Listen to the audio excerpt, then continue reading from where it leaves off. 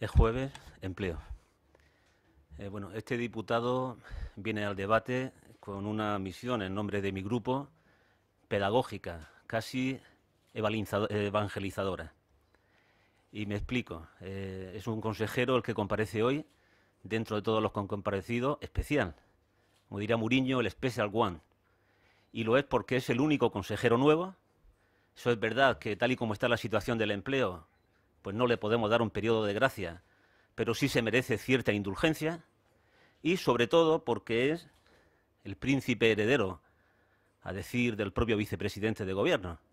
Por tanto, las cosas que este consejero haga tienen un valor nominal para el presupuesto, pero evidentemente tiene un valor simbólico de por dónde camina quien, dentro de unos pocos meses, puede ser el presidente de esta región. Por eso, aunque los datos del presupuesto nos darían razones para hacer una crítica ácida sobre cuál es la vocación para el empleo, se ven más sombras que luces, sin embargo, nosotros vamos a aprovechar la comparecencia para reclamarle que profundice en algo que él mismo ha dicho, y es que quería ir de la mano de la oposición. Estamos de acuerdo. Si él quiere, en el periodo de enmiendas, vamos a intentar reforzar un pacto en torno al empleo. El ejercicio de la oposición, como ustedes saben, es noble, pero hay determinadas materias donde mejor el acuerdo que la discrepancia. ¿Qué les voy a decir de el empleo que es la clave de bóveda hoy de la crisis política, social y económica que aparece, que padece este país? Por tanto, de acuerdo vamos a hablar para intentar corregir las deficiencias del presupuesto que nos ha presentado. Muy resumidamente le diré nuestros puntos principales para ese acuerdo político en torno al empleo. Sobre el plan de empleo juvenil, está bien que se haya empezado. Saben ustedes que nosotros colaboramos con el anterior consejero en los contenidos.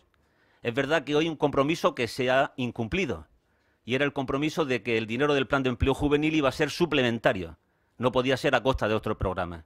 Esto no se respeta porque baste decirle que, por ejemplo, las escuelas taller bajan en el presupuesto un 60%, que también es programa que afecta a los jóvenes, que el dinero destinado a formación disminuye en los mismos 9 millones que se han presupuestado para el plan de empleo juvenil, que los ayuntamientos padecen un tajo de un tercio de su presupuesto o que el empleo para discapacidad disminuye en un 35%.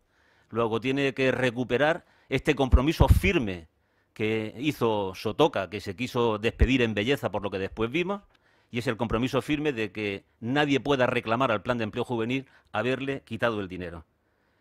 También lo que nos dejó, saben que nosotros apoyamos el plan pero no lo firmamos con fotografía porque faltaba un compromiso que el consejero dijo que iba a intentar. Y es que aquí están eh, jóvenes y parados de larga duración que se merecen algo más que políticas activas. Nosotros somos partidarios de que la comunidad autónoma aborde un plan a través de los ayuntamientos de empleo directo para dar trabajo a 4.000 personas que pertenezcan a familias con todos sus miembros en paro. Bueno, esta asignatura va a ser una de las que le pongamos al consejero para ese acuerdo de enmiendas al presupuesto. También nos tiene, se tiene que comprometer, no depende de él, pero miren, ello, el Partido Popular con mucha frecuencia sitúa el debate político en términos de herencia política. Zapatero es culpable de no sabemos cuántos millones de cosas. Aquí hay una historia donde Zapatero sale ganando, y perdónenme que lo diga en estos términos y que yo lo exhiba. Y es que en 2011, que fue el último ejercicio presupuestario del gobierno anterior, hubo una transferencia a la comunidad autónoma de 73,4 millones de euros para políticas activas. De momento lo que reflejan estos presupuestos es un 21,7 millones, una caída de un 70%. Por tanto, le vamos a reclamar también un esfuerzo de exigencia al Gobierno de España para que sitúe el nivel de transferencia en unas cantidades razonables. Y por último, una de las notas positivas del presupuesto es el crecimiento de la partida que se destina al trabajo autónomo, pero no se comparece bien que se fomente efectivamente el autoempleo de los parados y que no se apueste, se vuelve a congelar, a bajar incluso un poco el dinero que se destina a la economía social, que está a la mitad de lo que estuvo. Y digo que no se entiende bien porque en términos de filosofía macroeconómica en fin, la aportación de una empresa de más o dos trabajadores a resolver el problema de la crisis económica se sabe que es mayor que la individual. Hay estadísticas que demuestran que cuando se unen dos o tres trabajadores, ese puesto de trabajo dura mínimo tres, cuatro años como media. No es así cuando se va solo. Por tanto, si se apoya el autoempleo, debería también apoyarse el empleo a través de esta, de esta modalidad de economía social que se ha demostrado como buena casa de socorro de la crisis económica.